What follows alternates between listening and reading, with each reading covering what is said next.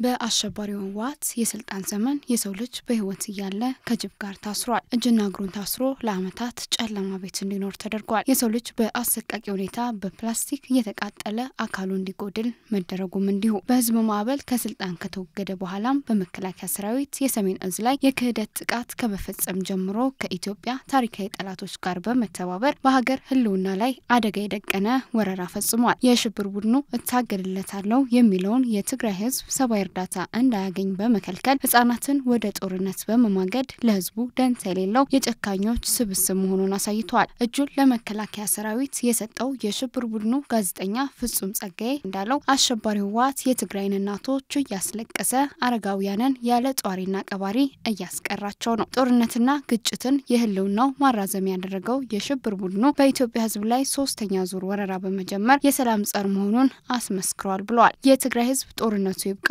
ችግሮች በሰላማዊ መንገድ ይፈቱ እያለ ቢወተውትም በቆቦ በኩል ዳግም ጦርነት በመክፈት የትግራይ እናቶችን እረፍት ነስቷቸዋል ብሏል። አሸባሪው ህወሓት በኢትዮጵያ ህዝብ ላይ ያደረሰው በደል አልበቃ ብሎት ጦርነቱን በቆቦ በኩል ራሱ ጀምሮ የትግራይን ህዝብ መንግስት ጦርነት ከፈተብኝ በማለት እያታለለ መሆኑን ገልጸዋል። በመሆኑም ዓለም አቀፉ ማህበረሰብም ሆነ የትግራይ ህዝብ በሽብር ቡድኑ የሀሰት ፕሮፓጋንዳ መደናገር የለበትም ነው ያለው። ውጊያ ጀመረብን ተከፈተብን የሚል የውሸት ፕሮፓጋንዳ እየነፉ ራሳቸው እንደጀመሩ እኔ አውቃለሁ። መጀመሪያ በቆቦ ነው። ቆቦ ራሳቸው እንዳነሱ አውቃለሁ። ሳይነኩ ተነክተናል ብለው ውጊያ አነሱት። የዓለም ህዝብ እንዲያውቅና ምክንያታዊ ቢስ እንትን እንዲያደርግ ምክንያት ቢስ ባይዘ ወይ ዝሮ ዝሮ ግን ራሳቸው እንደጀመሩ ህዝቡ ደግሞ ይሄ ደግሞ የማይጠቅም ዓላማ እንደሆነ አውቄ እኔ አሁን እጄ ሰጥቻለሁ። ለዚህ ለማይጠቅም ዓላማ ብለው እያለቀ ያለው ለመከላከያ ሰራዊት እጅ ቢሰጥና ምክንያቱ ጀማሪ ራሳቸው ናቸው የሚጮሁ ያለው ደግሞ ራሳቸው ናቸው።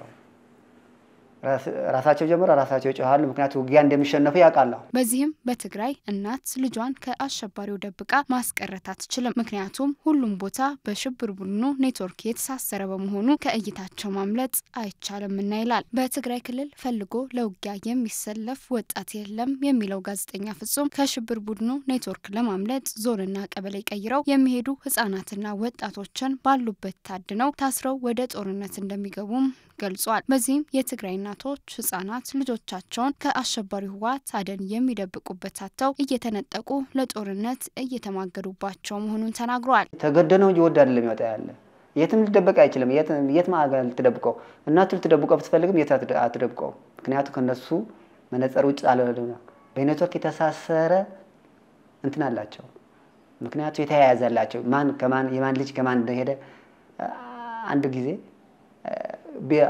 ቦታ ቀይረው ቀበሌዎች ቀይረው ወይ ዞን ቀይረው ይኖራሉና ተሞከረ። ይሄ ለዚህ ደግሞ ተደረሱበት። እዛ ሄደ ነው ታስረው ይመጣ። የትግራይ ህጻናትና ወጣቶች እየታደኑ ወደ ውጊያ እንዲገቡ ይገደዳሉ። ወደ ኋላ እንዳይመለሱም አሸባሪ ቡድኑ ገዳይ ስኳዶችን አዘጋጅቶ በጥይት ይጨፈጭፋቸዋል ሲልም ነው የተናገረው። የሚዋጉት ከፊትና ከኋላቸው በጥይት ተከበው ሞትን ብቸኛ አማራጫቸው አድርገው መሆኑን ገልጾ ወደ ኋላ ሸሽታችኋል በሚል በህወሓት አመራሮች የሚገደሉ ወጣቶችን በአይን አይቻለሁ ብሏል። ወጣቱ አሁን ተገዶ ነው ያለ ወጣቱ አሁን እየሆነ ያለው ከኋላ ከተመለሰ ገዳይ ቡድን አለ፣ ግንባሩ በለው የሚል አመራር አለ።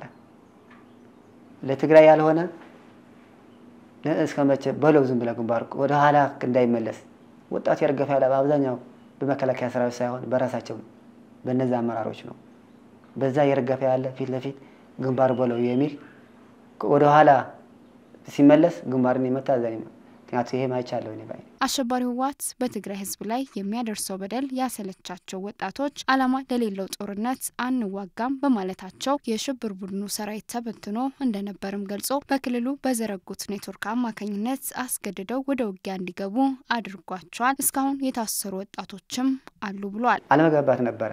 አንዋጋ ሚል ወደ ጥሎ ወደ ቤት ሊሄደ ብዙ ሰው ነበር። ከአሁን በኋላ ይብቃን። ስለዚህ የምትፎቱት ከሆነ በሰላም ፍቱት እኛ እንሄዳለን አይዋጋም ያለ ሰራዊት ነበር። አብዛኛው ተበትኖ ነበር። ቀስ በቀስ የተሰበሰበ የተሰበሰበው እየታሰረ በየቀበሌው በየቦታው እያለ በኔትወርክ የታሳሰረ አለ። እነሱ የነሱ አስተባባሪ አሉ። ወደ እስር ቤት አስሮ ሁለት ወር ሶስት ወር ታስሮ still እስካሁን እየታሰሩም አሉ። እንደዛ አንዋጋም ከአሁን በኋላ አላማ ለምንድን ነው አላማ አልገባንም። ገብተን እንደዚህ ለመሞት ነው ምንም የሌለው ነገር ከማን ጋር ነው የምንዋጋ ያለን የሚል ጥያቄ ያቀረቡ ሰዎች እስካሁን ታስረዋል አሉ። የትግራይ ህዝብ አሸባሪው በኃይል አፍኖ ይዞት በችግር ላይ ይገኛል የሚለው ጋዜጠኛው ህዝቡ ሀሳቡን እንዳይገልጽ ብሶቱን እንዳያሰማ በጭንቅ ውስጥ ይገኛል ነው ያለው። አሸባሪው ህወሓት የትግራይን ህዝብ ከረሃብ አልታደገውም፣ ከመሞት አላዳነውም፣ አንዳች ጠብ የሚል ነገር አላደረገም ብለዋል። በችግር ላይ ችግር ነው ያለ በቃ ህዝቡ። ምክንያቱም የሚበላው የለ፣ የሚጠጣው ያለ፣ የሚቀመስ የለውም። በዛ ላይ እንዳይበቃው እስትራትም ልጅ የት አለ የተባለ የታሰረ ነው ያለ የተጎደ ያለ እንዳትናገር አፍታፉን ነው ያለ። ስለዚህ አሁንም የተከፈለ መስዋዕት ከፍለ ህዝቡ ሆ ብሎ መውጣት አለበት። ምክንያቱም ነገ ልጅ የት አለ ብሎ መጠየቅ አይቀርም። ከሚጠይቅ ነገ ከሞተ በኋላ ከሚጠይቅ ሳይሞትና አሁን ሆ ብሎ ቢወጣ ነው የሚቻለው። ምክንያቱም አውቃለሁ በጣም ችግር እንደሚደርስበት ከዚህ የበለጥ ግን አይሆንም። ከዚህ የባሰ አይሆንበት። አለቀ እኮ ይወጣ ህዝብ እኮ አለቀ። ያለቀ ነው ያለ። ከዚህ በላይ ምን አለ እንዴ? ከሞት በላይ እኮ ምንም ነገር የለም። ስለዚህ አየው የፈየደው ነገር የለም። በትግራይ በርካታ ወጣቶች በአሸባሪ ህወሓት አመራሮች ከጦርነት ሸሽታቸዋል በሚል ከኋላ መጨፍጨፋቸውንም ጋዜጠኛው ተናግረዋል።